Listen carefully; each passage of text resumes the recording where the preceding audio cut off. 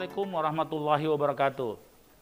Sebuah koran yang memiliki sejarah panjang, apalagi koran yang memberitakan tema-tema khusus yang dibutuhkan masyarakat, terutama persoalan-persoalan ekonomi yang memberikan kontribusi sejarah ekonomi terkhusus di Makassar. Ujung Pandang Express begitu dikenal di hati para pebisnis Makassar. Bacaan para pebisnis sukses Hari ini tepat berulang tahun yang ke-21.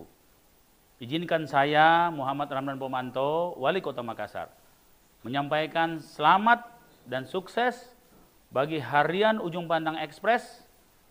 Semoga insya Allah berita-berita ekspres atau yang cepat akan memberikan para pebisnis sukses kecepatan ekonomi, kecepatan bisnis yang ekspres juga yang menyebabkan perputaran ekonomi menjadi lebih ekspres lagi.